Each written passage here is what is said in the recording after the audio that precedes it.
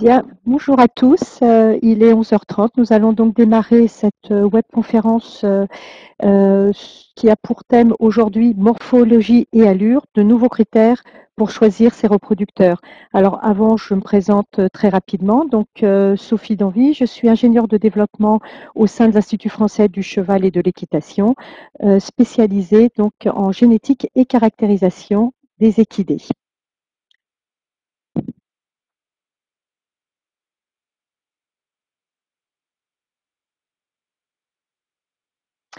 Alors pourquoi s'intéresser à la caractérisation de la morphologie et des allures?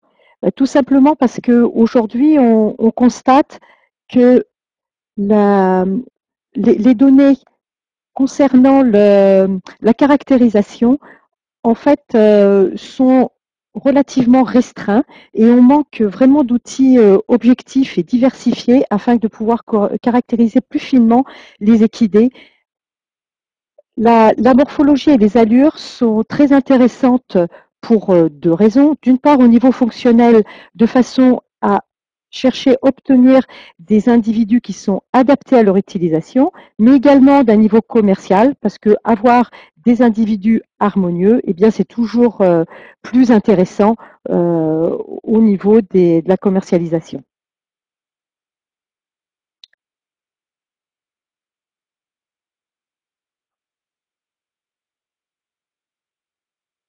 Alors j'ai un petit souci sur le défilement du PPT.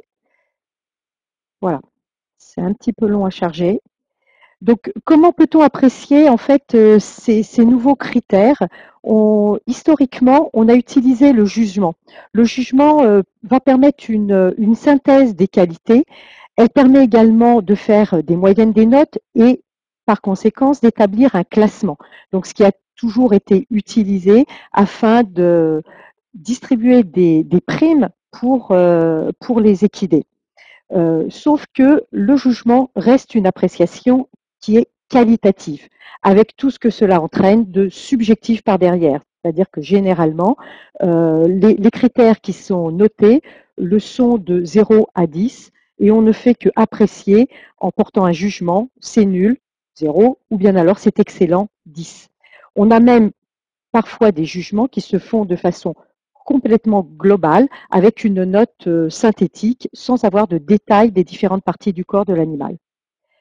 On oppose souvent le pointage au jugement euh, parce que lui va permettre de détailler les différentes parties du corps, de définir le cas échéant des optimums selon les objectifs de la race et du coup d'avoir une appréciation qui va devenir cette fois-ci descriptive avec éventuellement des mesures.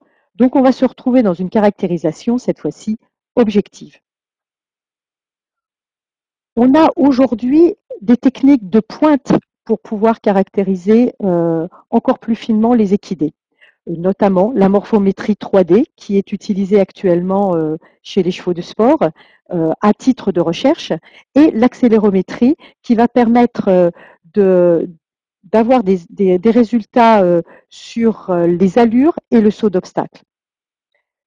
Toutefois, en routine, ces techniques restent encore coûteuses et difficiles à industrialiser. C'est pourquoi, généralement, on reste actuellement sur la technique de pointage qui est aujourd'hui encore la plus efficace.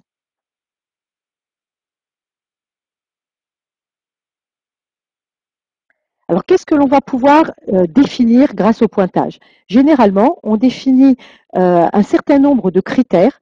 Là, je vous ai mis, euh, alors pas la grille complète, hein, parce que ça ne serait pas passé sur, sur la diapo, mais un, extrait hein, de la grille utilisée chez les, chez les anglo-arabes. Elle comporte une quarantaine de critères.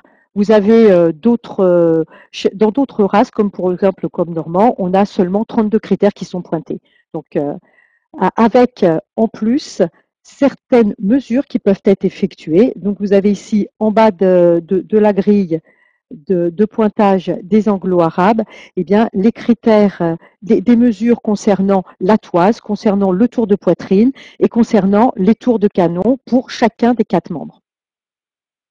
L'intérêt, c'est que euh, on, va pouvoir détailler beaucoup plus le corps de l'animal, voire ses allures, puisqu'on est capable également de pointer euh, les, caractéristiques d'allure avec une telle grille.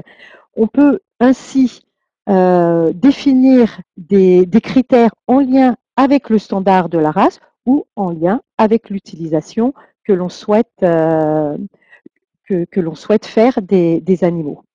Ce qu'il faut rechercher dans les critères que l'on va mettre en place, c'est qu'ils aient une héritabilité suffisante. On va voir tout à l'heure ce que représente cette héritabilité, qu'il soit mesurable facilement. Ça, c'est un point important parce que c'est vrai que avoir des mesures, ça, permet euh, d'avoir une meilleure objectivité. Par contre, les mesures sont toujours chronophages au moment de la prise des données et, si possible, et ça on le vérifie ultérieurement, qu'il n'y ait pas de détérioration euh, des autres caractères que l'on souhaite améliorer. Donc il faut qu'il y ait des corrélations génétiques favorables avec les autres caractères. Alors, ces données sont collectées sur le terrain, généralement par des pointeurs, des pointeurs qui sont habilités. Donc, euh, ils sont habilités la plupart du temps par les studbooks qui, qui mettent en place cette caractérisation. Euh, l'important, c'est que ces pointeurs soient formés de façon à ce qu'il y ait une bonne harmonisation de l'observation et de la prise de mesure. Ces pointeurs doivent systématiquement vérifier l'identité des équidés, la lecture de la puce étant quand même la, façon la plus rapide de vérifier l'identité. Euh, ils doivent ensuite saisir l'ensemble des données, euh, soit sur un papier, soit directement sur des tablettes s'ils en sont équipés, et ces informations doivent très rapidement être consolidées dans une base de données centrale. Le, gros intérêt aussi de la caractérisation de terrain, c'est lorsque l'on peut remettre ces fiches de pointage. Je vous en ai mis un exemple euh, ici, hein, la fiche de pointage qui est remise au COB normand euh, dès, que, le pointage est terminé. Alors, Qu'est-ce que l'on va faire avec ces données? Bah, Ces données qui sont ainsi collectées permettent, dès que l'on a environ un, millier d'individus qui sont caractérisés, de calculer des héritabilités. L'héritabilité des, critères, qu'est-ce que c'est? Bah, Ça mesure la part qui est d'origine génétique dans toutes les variations que l'on observe au niveau de la population entre individus. Donc, ça va nous donner bah, les possibilités de, sélection ultérieurement. Généralement, l'héritabilité est comprise entre 0 et 1. Lorsqu'elle dépasse 0,25, on considère qu'elles sont moyennement à fortement héritables, ces héritabilités, et là, on peut réellement avoir des programmes de sélection qui pourront se mettre en place sur les critères. On vérifie également les corrélations génétiques entre les critères pointés et avec d'éventuelles autres caractéristiques. Et à ce stade-là, eh ben, il devient possible de calculer des indices génétiques si les héritabilités sont suffisamment bonnes, c'est-à-dire généralement si elles sont supérieures à 0,25. Aujourd'hui, on a déjà un certain nombre de races qui disposent de ces critères, notamment les Haflinger, les Cobb normands, les Ardennais, les Anglo-Arabes et les Comtois. Les sels français ont commencé également le pointage, mais ils en sont au début, à la deuxième année donc de caractérisation de leurs chevaux. Alors, voici des exemples d'héritabilité concernant les principaux critères collectés. Alors là encore, je ne suis pas exhaustive, mais ça vous donne déjà une bonne indication des types de critères qui sont héritables et ceux qui ne le sont pas. On voit qu'on a quand même des tendances qui sont assez similaires, quelles que soient les races, mais on n'a pas quand même des, des, héritabilités qui sont parfaitement identiques entre les races. Et ça, l'héritabilité, elle va être vraiment propre à chacun des studbooks. Donc le développement squelettique et le développement musculaire sont généralement des caractères qui sont très fortement héritables, de même que l'ouverture de poitrine ou encore les allures au trot. Par contre, on constate que les allures au pas, que ce soit la rectitude ou l'amplitude, sont, elles, beaucoup plus faiblement héritables, parce qu'elles sont très fortement liées, beaucoup plus que le trot, à la façon dont le présentateur va va, pouvoir euh, présenter le cheval. Alors, là encore, on a euh, la longueur du dos, les jarrets et les aplombs postérieurs, on le voit qui sont très faiblement héritables.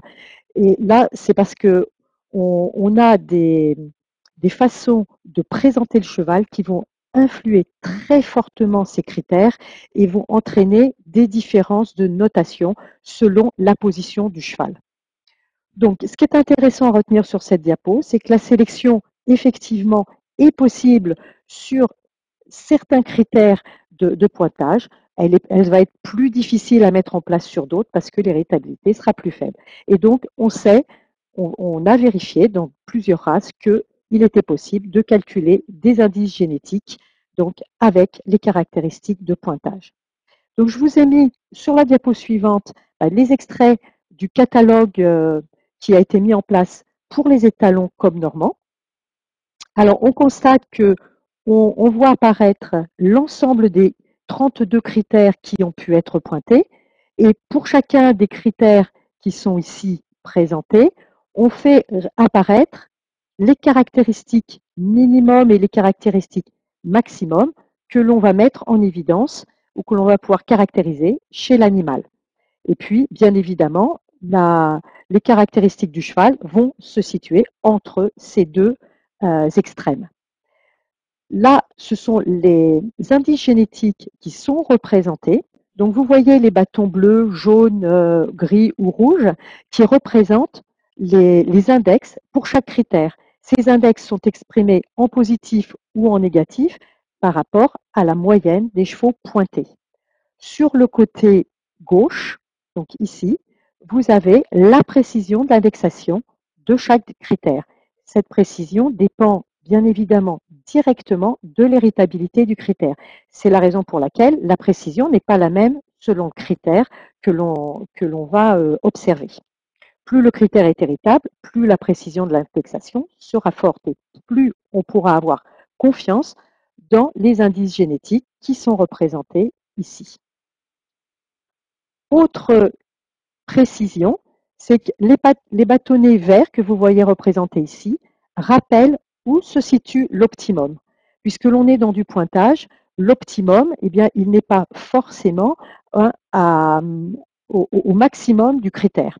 Hein, si on prend par exemple les, les, aplombs, on ne va pas rechercher euh, un, cheval euh, avec euh, des jarrets coudés, ni un cheval avec des jarrets droits, mais on va plutôt rechercher quelque chose d'intermédiaire. Donc à chaque fois, il faut bien faire attention où se situe l'optimum pour savoir si le cheval, son amélioration va dans le sens que l'on recherche? Finalement, à quoi vont nous servir tous ces résultats?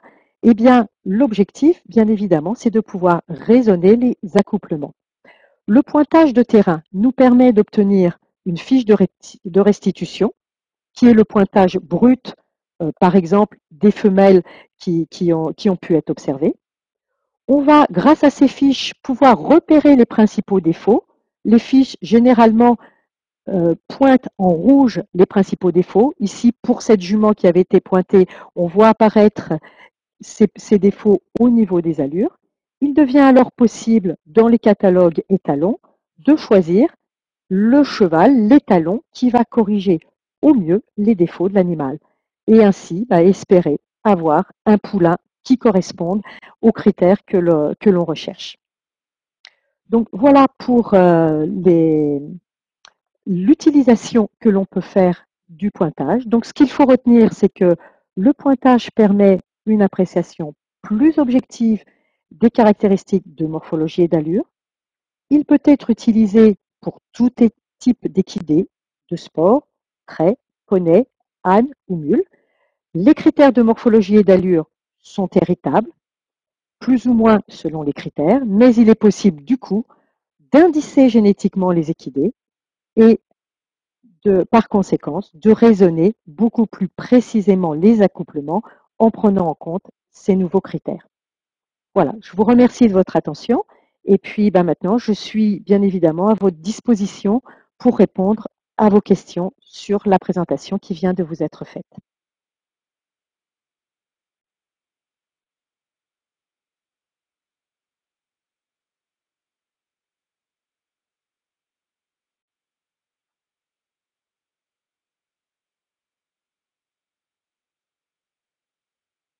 Alors, j'ai une, première question qui apparaît. où peut-on trouver une feuille de pointage? Alors généralement, ça auprès des responsables des studbooks concernés.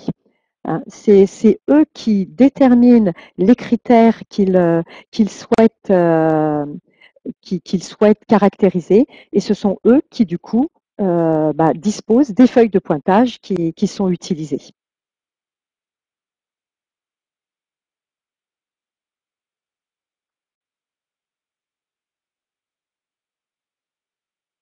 Alors, on pose également comme question les, indices, alors attendez, j'ai mal à lire sur mon écran.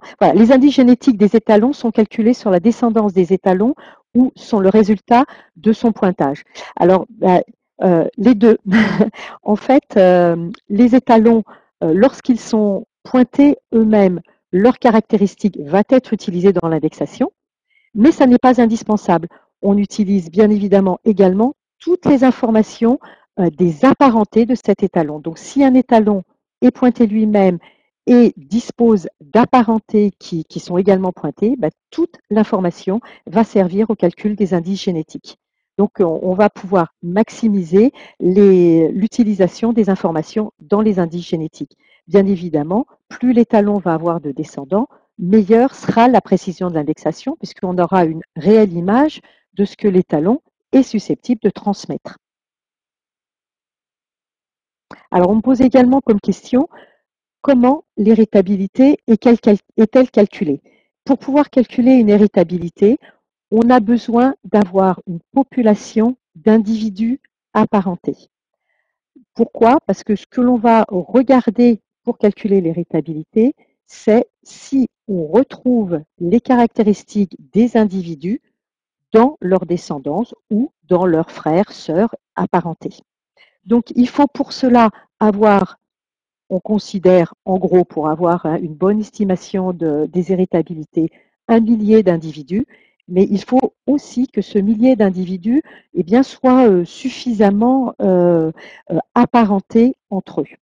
Hein, donc, par exemple, on, pourrait penser avoir un millier de couples pères descendants ou mère, euh, fille, ou père, fils, etc. En fait, dans la réalité, on prend tous les apparentements pour calculer les et on regarde au niveau des critères si on retrouve les mêmes caractéristiques chez un individu et chez apparenté. Et c'est cette part que, que l'on arrive à estimer comme étant en commun qui représente l'héritabilité. Et c'est cette part qui, statistiquement, est susceptible de se transmettre à la descendance.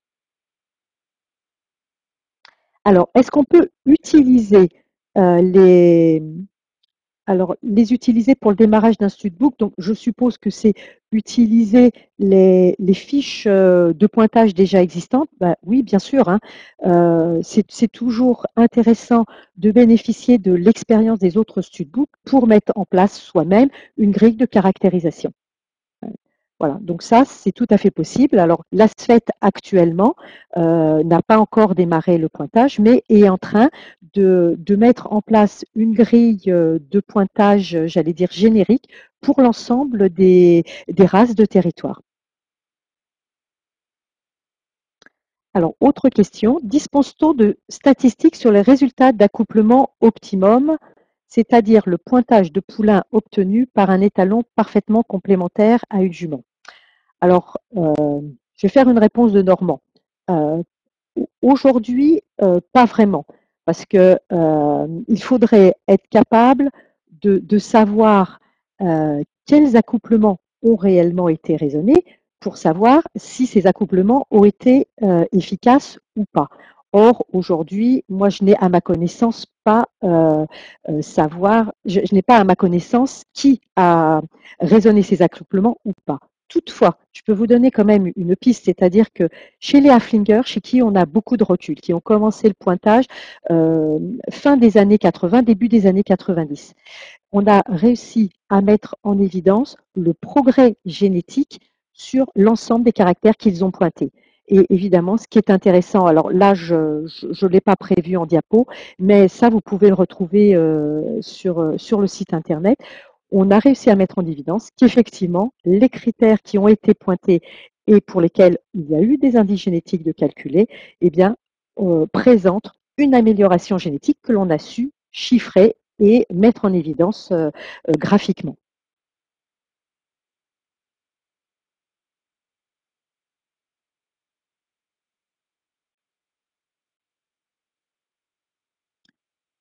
Alors, j'ai une autre question. Vous ne parlez pas du caractère tempérament.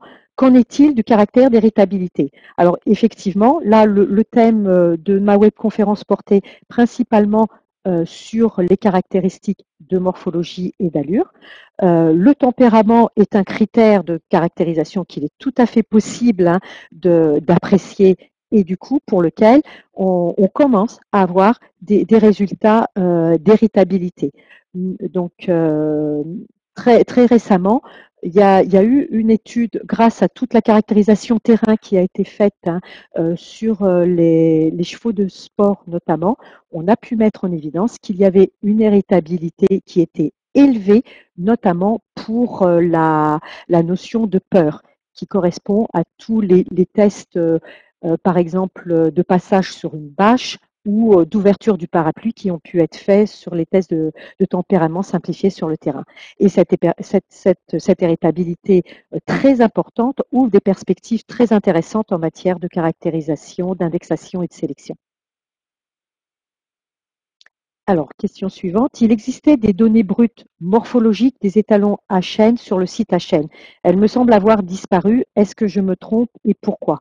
Alors, c'est exact. Il y avait des données morphologiques notamment qui avait été obtenue sur, euh, par euh, caractérisation morpho 3D et par caractérisation accélérométrie.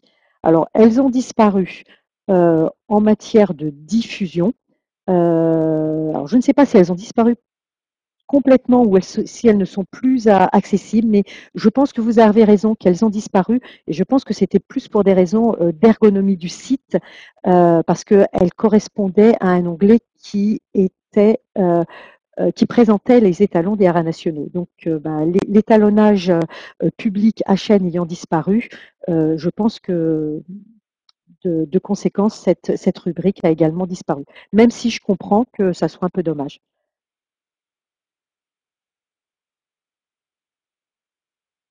Alors, autre question, le caractère est-il attribuable à la jument, à l'étalon? Bah Là, la réponse, c'est les deux, mon capitaine. Euh, on, a euh, pour l'ensemble des caractéristiques, la part qui, est d'origine génétique provient statistiquement pour moitié de la femelle et de l'étalon. Donc, lorsque l'on fait euh, un accouplement raisonné, on le fait en partant sur cette base-là. C'est-à-dire que lorsqu'on travaille sur des indices génétiques, on, espère que la moitié de la supériorité des caractéristiques que, que l'on souhaite améliorer seront apportées par le mâle et la moitié des caractéristiques seront apportées par la femelle. Voilà, donc ça c'est moitié-moitié.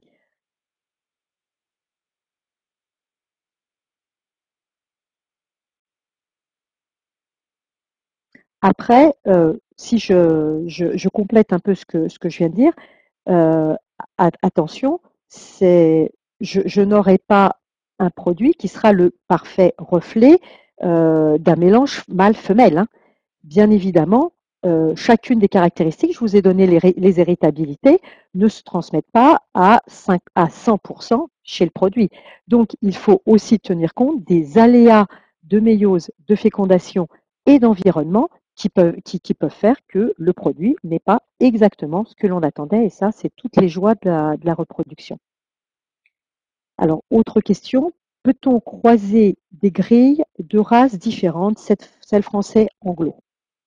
Alors, si, vous n'aviez pas précisé dans la question celle français anglo, par exemple, j'aurais eu tendance à dire non. C'est-à-dire que c'est toujours difficile de, de, de comparer, par exemple, un, jugement cob-normand, un jugement ardennais, un jugement afflinger ou un jugement anglo-arabe, parce qu'on a des standards de race qui sont très différents et des objectifs d'utilisation qui sont très différents. En ce qui concerne le sel français et l'anglo-arabe, euh, je pense que là, ça sera euh, plus facile, au moins au niveau morphologique, de comparer les résultats obtenus si on a des critères qui sont identiques. Maintenant, ce n'est pas forcément le cas, c'est-à-dire que chacune des races ne choisit pas forcément, parce que ça, ça ne leur paraît pas le plus, le plus intéressant, ne choisissent pas, ne choisissent pas forcément les mêmes, les mêmes critères. Donc, ça ne sera pas toujours facile de comparer celle français et anglo-arabe si on a des différences de, de critères. Par contre, euh, à partir du moment où des, des individus anglo-arabes sont pointés avec la grille celle français ou des, individus celle français sont pointés avec la grille anglo-arabe et sont comparés avec la population en question, là, oui, c'est tout à fait possible. Parce qu'on a des populations qui sont quand même orientées sport et pour lesquelles on a quand même des objectifs qui sont communs, la réussite dans, dans certaines disciplines sportives. Alors, autre question suivante. La formation des pointeurs est importante à qui accombe cette, euh, cette formation Alors oui, la formation des, pointeurs est fondamentale. Eh bien, c'est euh, le Studbook ou la société mère, hein, si on prend le cas de la, la, fédération des, des, équidés de travail, c'est elle qui met en place ces formations. Après, elle peut faire appel à des, des experts et généralement, dans, dans, certaines formations, l'IFCE est très largement sollicité pour animer ces formations. Voilà. Alors, autre question, ces données morphologiques ne devraient-elles pas être obligatoirement diffusées pour les jeunes étalons lors de leur, autorisation à la mode publique? Euh, bah, Oui, ça me paraît très, euh, assez, assez intéressant et je crois vraiment que c'est vers un, un modèle de ce type-là que, que l'on se dirige. Euh, on, a effectivement bien montré l'importance de pouvoir multiplier les critères pour mieux choisir les reproducteurs et euh, c'est vraiment euh, ce que l'on essaye hein, de, de, bah de, voilà, de, de, de, prôner comme, comme, comme action. Alors, autre question, le critère comportement n'est-il pas influencé par l'origine maternelle. Alors, euh, le, bon, je peux répondre à cette question, même si je rappelle aujourd'hui la webconférence quand même portait plutôt sur euh, morphologie et allure, mais le, le comportement, euh, oui, est, est influencé euh, par euh, le, j'allais dire la, le fait que le poulain va rester derrière sa mère euh, jusqu'au sevrage. Et ça, c'est vrai que ça a une, une incidence euh, non, non, négligeable, qui est, raison pour laquelle d'ailleurs les, les, éthologues bah, conseillent de, de, jouer sur, ce, sur le mimétisme de, qui, qui existe hein, du, poulain euh, envers la mer. Alors, autre question, existe-t-il des études en épigénétique qui permettent de favoriser le développement de certains caractères en fonction de l'environnement du poulain et de la mère. Donc oui, il y a des études qui sont faites euh, pour essayer de, mettre en évidence l'incidence hein, de, l'épigénétique. Alors je peux peut-être en profiter du coup pour redéfinir ce que c'est que l'épigénétique. En fait, on a récemment montré que euh, les, gènes euh, influençait bien évidemment l'expression des caractères, mais que certains de ces gènes pouvaient être allumés ou éteints selon l'environnement. Et c'est ce que l'on appelle l'épigénétique. Donc, si on, a des animaux qui sont soumis à un stress perpétuel ou qui peut être, par exemple, un stress euh, alimentaire, et eh bien que du coup, de, par, euh, de par ces, ces, stress, suralimentation, sous-alimentation, oui, il peut y avoir des, incidences sur l'expression des, divers caractères. Hein. et donc ça, notamment, il y a un, gros programme euh, euh, qui est mené par euh, Pascal Chavat sur la programmation embryonnaire et qui n'est pas encore terminé, mais qui commence à mettre en évidence des résultats très intéressants. Donc ça, on aura très matière dans, les, dans les semaines ou les, les années qui viennent à, à transférer toutes ces, données très intéressantes qui vont être mises en évidence. Alors, question suivante. Pour le caractère, il me semble que la mère fasse partie de l'effet milieu en plus euh, de la génétique. Euh, oui, oui, c'était. Mais on a malgré tout, au niveau génétique, on, sait, lorsque l'on calcule les indices, euh, on sait mettre en évidence cet effet maternel. Dans la majorité des critères, euh, que ce soit les critères sport, les critères de morphologie et d'allure, on, arrive à estimer cet effet maternel à 4 à 5 Voilà. Et ça, les, modèles génétiques que l'on utilise pour produire les indices permettent de corriger euh, cet effet-là.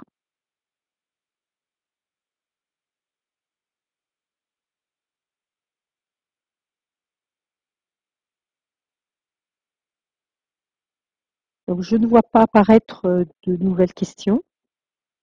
Donc, euh, bah, j'espère. ah, si, une nouvelle question qui, apparaît. Donc, un panard croisé avec une cagneuse donnera-t-il un aplomb droit? Ou là, je n'irai pas jusque-là. Ça, je, n'en ai absolument pas, euh, pas la preuve. Donc, euh, croisé avec un panard avec un cagneux, euh, je, pense que c'est relativement risqué. Si on a un panard d'une part et une jument panard d'une part ou une jument cagneuse d'autre part, je pense que le, mieux pour vraiment corriger ce, ce défaut d'aplomb, c'est de le croiser avec un étalon qui a des, des aplombs qui se rapprochent de l'optimum.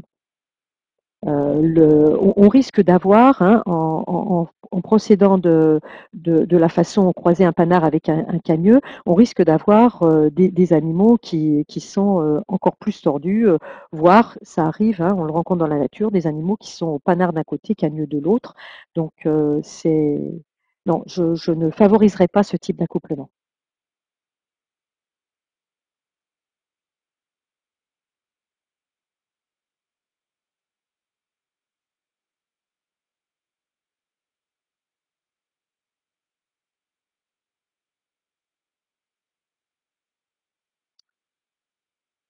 Alors, à quel stage préconisez-vous le pointage? Non, à quel à quel sage?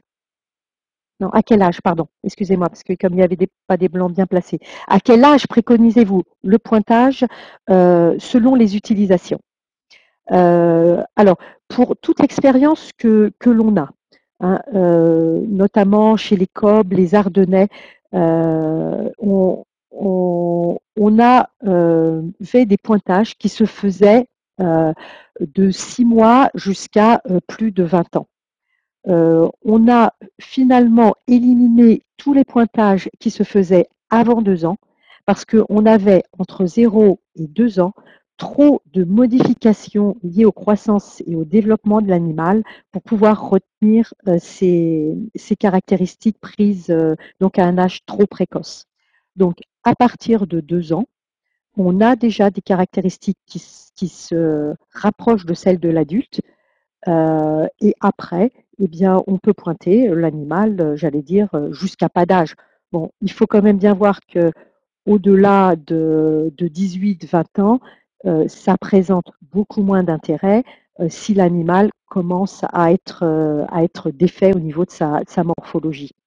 Maintenant, alors, pourquoi ça n'est pas grave de pointer de, 0 à 18 ans? C'est ce que l'on a fait euh, dans, un certain nombre de races, hein, euh, où on avait des, âges très hétérogènes dans les données disponibles, parce que tout simplement, nous, au niveau des modèles génétiques que l'on utilise, on est capable de voir euh, les, les, les évolutions de chacune des caractéristiques selon l'âge. Et donc, après, on définit par groupe d'âge quels sont les effets que l'on observe et on corrige tous nos modèles en fonction de ces effets.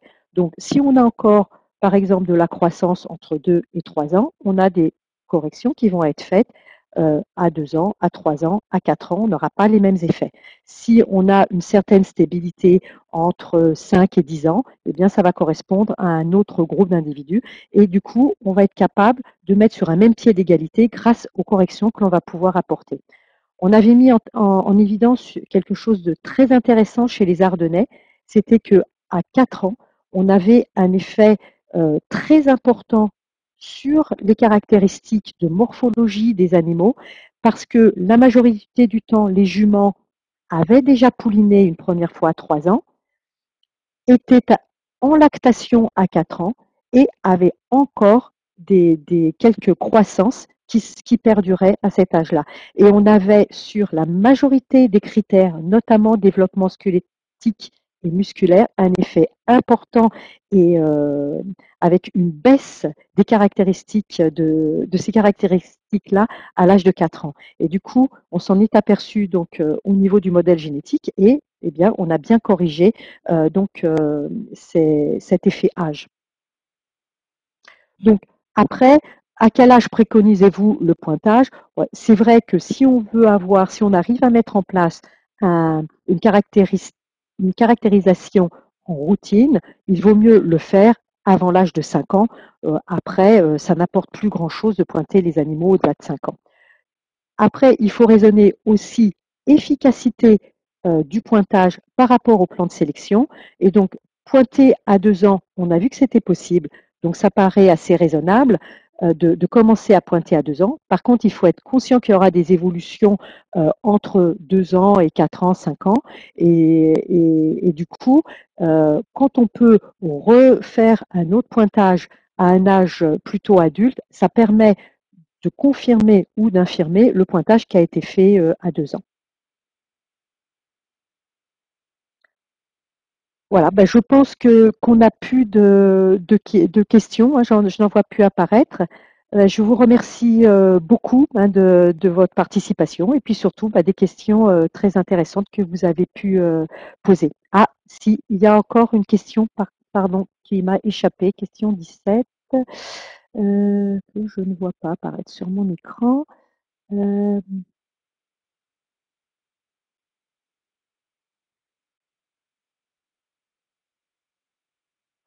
Je suis désolée, j'arrive pas à la voir. vous pouvez me redonner la question 17 parce que voilà, comment approcheriez-vous le comportement euh, selon l'âge? Alors là, je vais botter euh, un peu en touche parce que moi, je suis pas du tout, euh, je suis généticienne avant tout et beaucoup moins spécialiste de l'éthologie. Donc par contre, je vous laisse euh, suivre les conférences de, mes collègues, hein, euh, Marianne Vidamant ou Christine Briand, qui, euh, qui vous apporteront ça, bien sûr, des, réponses à, ces questions-là. Alors, des caractéristiques chez le Shetland ont-elles été faites?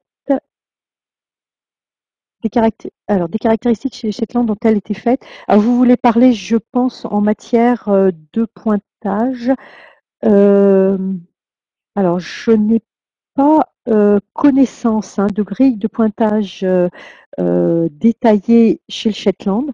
Euh, il y a, a peut-être des grilles de jugement, ça il y en a dans la majorité des races, hein, euh, mais vraiment de pointage à proprement parler, comme je vous l'ai, je vous l'ai dit, hein, avec euh, des, des, descriptions précises des critères et mensurations, je n'en ai pas entendu parler. Ça pour, faudrait vous rapprocher vraiment du, du Studbook Shetland pour pour, euh, pour connaître hein, ces, caractéristiques. Par contre, euh, et bien évidemment, le pointage est tout à fait possible hein, chez le poney Shetland comme euh, chez les autres types d'équidés.